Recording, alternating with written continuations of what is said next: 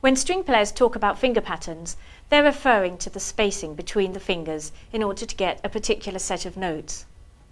On the double bass, we space the fingers so that we have a whole tone between the first and the fourth finger, and the second finger makes the semitone in the middle.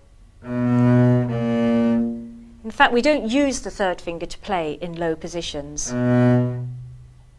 But it's important to keep it on the fingerboard to support the fourth finger.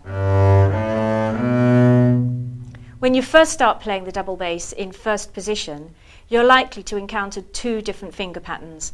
We call the first one the first finger pattern and it uses open strings, first fingers and fourth fingers.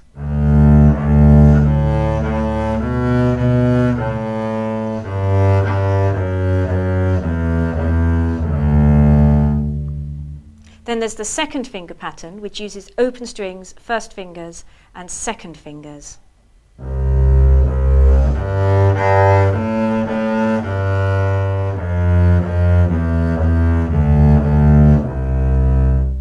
Of course, most of the music we play is going to use all the fingers in various combinations.